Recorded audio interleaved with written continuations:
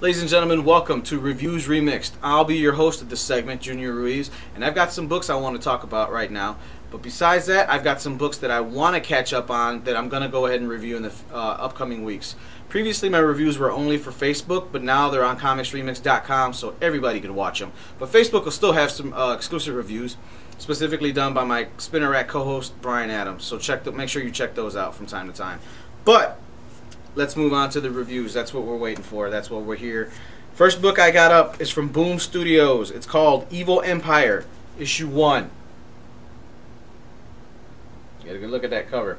And the cover was also done by Jay Shaw. I just want to throw that out there. So Max Bemis and Ransom Getty go ahead and give us a pretty good tale about politics. I know nobody likes politics. You don't po talk politics. You don't talk religion. But politics, nonetheless. Um, I'll be honest, man. This book is pretty cool. It starts off in a weird kind of setting future where there is a gentleman in his wheelchair um, going down the street where he's approached by a bunch of young thugs. Now the young thugs see him as a homeless man and they start beating him. Or a good Samaritan comes in, he decides, hey, you know what? That's not cool. I'm going to help out. Pulls a blade out, the thugs run away. But because of his good deeds, the patrolman slash lawman of uh, this town or whatever, they decide, they say, hey, you know, what are you doing? That's against the law. And they put guns to the heads. But as you turn the page, we're introduced to one of the players in the book called Reese. Now Reese is a musician. She's go she's singing about the world that she lives in and how screwed up it is and it's kind of like that political music you know where she's trying to get the message out and not you know, it's not rap it's not hip hop any of that stuff it's not love music it's just she believes in a in a specific system and she's using her music to influence her beliefs which you know a lot of music true musicians do so in this book, after the concert, she's backstage and she's we're introduced to Sam Dugans. Sam Dugans is also one of the political people in the book that you're going to read about. There are two, obviously, competition. Sam tells her he's a fan, he's a legit fan. He's not just trying to go ahead and butter her up in hopes that she'll support his political views. Um, throughout the book, the conversations that Reese and Sam have are pretty cool, and it's like Reese becomes a little bit more trusting of Sam to the point where they decide to go on a date. Uh, now, during uh, their conversations, the way it reads to me at least, it's like it seems like Sam is being controlled. Like he kind of admits without admitting that he's a puppet just being controlled and he's like kind of put in that place and he doesn't agree with some of the views as well but whatever Halfway through the book, we're introduced to a, uh, a young lady who finds a puddle of blood on the floor, follows it, and it turns out her mother has been stabbed in the back with a knife. It passes away in her arms. Turns out the mother who was stabbed is the wife of Sam's um, political competition. At the end of the first issue, we are at her funeral where the killer is revealed. I'm not going to go ahead and say who the killer was. For that, you guys are going to have to pick up Evil Empire, number one, Boom Studios by Max Max Bemis and Ransom Getty. Excuse me, I'm stuttering here. But uh, check it out. Out of, I give it two and a half out of four stars. Definitely a good read. I will definitely be back for issue two. Another book I want to uh, review, and uh, I'm pretty sure I'm kind of gonna, I'm probably get scoffed at for it, but it deserves a review nonetheless. Super Genius and Titan Comics have decided to go ahead and put out WWE Superstars. Now there uh there are three issues in now, or excuse me, two issues in. But um, you know, being a wrestling fan, I've got to go. I, I I said, you know what, it, the art isn't all there. First of all, it's co-written by wrestling legend Mick Foley. Uh, along with Shane Riches, and the art is by Ali, uh, Alitha Martinez. I'm sorry if I pronounced that wrong. But being a wrestling fan, this was something I was like, you know what, I gotta try it. I, I want to check it out. If it sucks, you know, whatever. At least I, I, I know it sucks because I tried it, not because it's a wrestling comic and those are kind of taboo. Anyways, um, the gist of the book is basically you take the superstars and instead of having them in a wrestling ring, you kind of put them in real life scenarios. They uh, they inhabit Titan City, and Titan City is obviously run by the McMahon family and the Authority, Stephanie and uh, Triple H.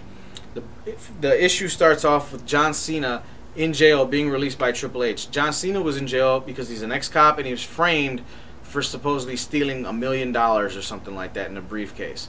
Nobody knows where it is except John. So Triple H says, I'll let you out, you find my money, or you find the money. You also got Randy Orton and Alberto Del Rio who are uh, competing to be the uh, the city's district attorney, which is kind of weird. CM Punk is the vigilante. That's more like you know this. We need to come with an uh, uh, an uprising of it, and he's going around trying to find people who will be on his side. He's found the urban vigilante slash superhero Rey Mysterio to help him out. Excuse me. Big Show is also giving him a hand. CM Punk has gone to Undertaker's tattoo parlor in hopes that Undertaker and his brother Kane will help them out. While Undertaker tells him no, supposedly Kane has said yes. Moving on, Daniel Bryan is an urban legend. Does he exist? Does he not exist? Ask Randy Orton because he seems to be the center of uh, Daniel Bryan's attacks. Also, the police force in the city. Obviously, the Shield is on the uh, police force. They're kind of crooked cops. The Wyatts are a bunch of weirdos. But going back to the police force, Christian is on the uh, police force as well as Dolph Ziggler.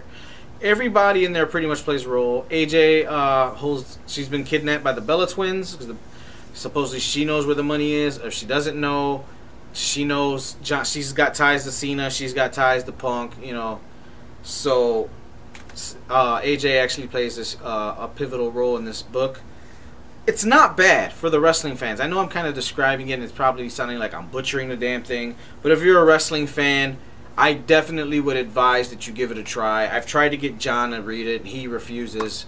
Um, but it's actually pretty good. As a wrestling fan myself, I actually purchased the first issue after I read it. I says, you know what, I'm going to give it a shot. It seems to be pretty cool. It's just people relate wrestling and comic books, they don't go together you know, you how can you do this? You know, this is wrestling. It's it's cheesy what they're doing. You gotta remember, it's wrestling first and foremost. First and foremost, wrestling's always gonna be cheesy. But regardless, I give uh, I I would say that Mick Foley and um, and Shane Richards are actually giving it a good shot. And WWE Superstars, I purchased the first issue, all four covers, mind you, and I purchased the second issue. When issue three comes out, I'll definitely be grabbing that. But um, like I said, if you're a wrestling fan, definitely check it out. Do yourself that favor don't judge a book by its cover. At least give the first issue a try. I always tell that to anybody who asks. You know, you got to read the first issue. Sometimes you got to give it to the first story arc. Now, I do have a lot of people who read the first issue and like that's it. It's crap. I'm done. You know, the story has to start somewhere. You have to give it time to build. They can't give you everything with one shot. So take out, uh, check out the first arc usually. But WWE Superstars, I'm gonna go ahead and give it two stars out of four. Definitely an interesting read, especially for the wrestling fans. Check it out. Moving on, there's I got a stack of books here that uh, I want to go ahead and get to sometime this month, and uh, every week I'm going to give you new reviews. But these will definitely be reviews that are coming up, so uh, make sure you check it out. I'm definitely going to be reviewing Magneto number one. He's got his new ongoing series here, and it's written by Chris Bunn, Cullen Bunn. Excuse me. Why the hell did I call him Chris? Yeesh, rookie mistake but it's written by Cullen Bunn and it's drawn by Gabriel Hernandez Walta. Magneto number one, Marvel Comics. Review coming soon. Moving on. Dynamite has released Turok Dinosaur Hunter number one. Uh, I know there's a lot of Turok fans out there, especially the old school games. I'll be reviewing this as well. I wasn't big into Turok, but you know what? Uh, Greg Pak's writing it. So, Turok Dinosaur Hunter number one review coming soon. Um, I've never been a fan of this video game in particular, but I am a fan of Gail Simone's writing. Tomb Raider number one by Dark Horse review coming soon. Can't wait for. I actually can't wait wait to read this. Pretty thick too, so for 350, better be a good damn good story.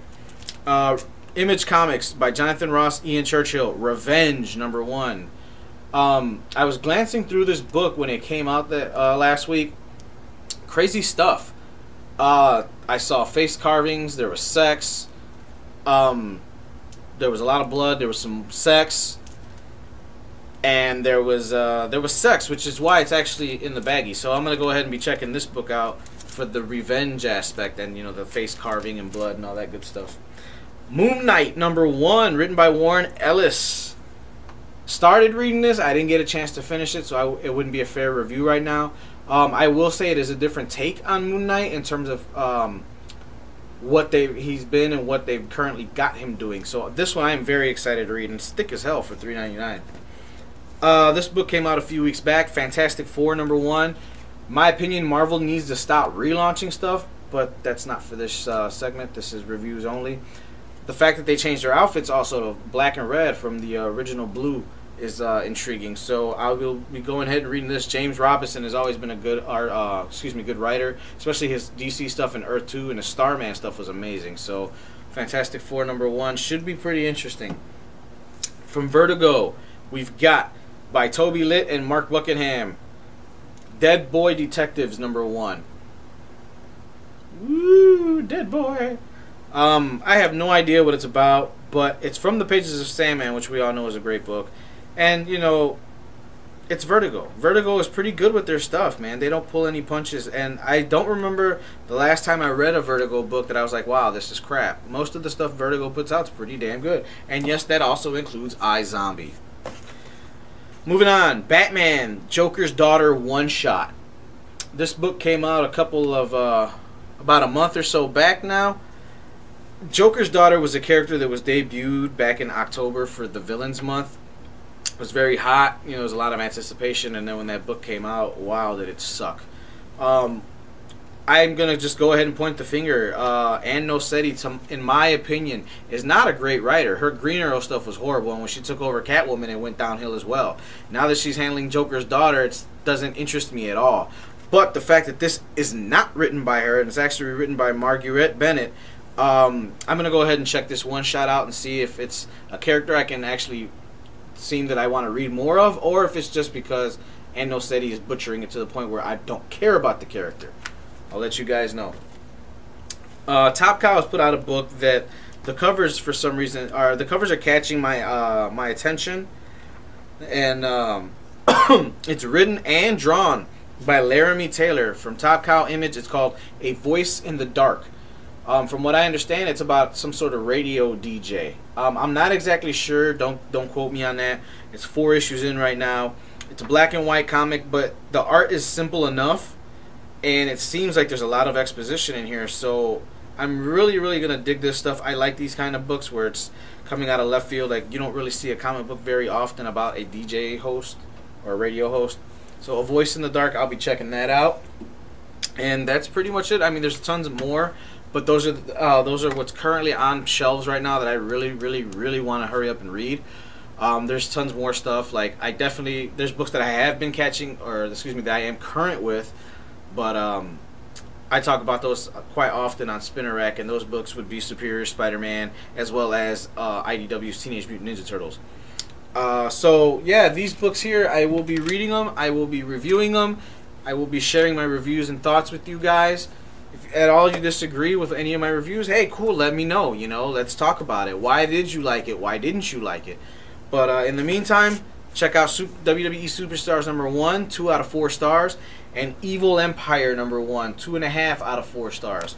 For another Reviews Remixed, I'm Junior Ruiz, and that was the review. Peace.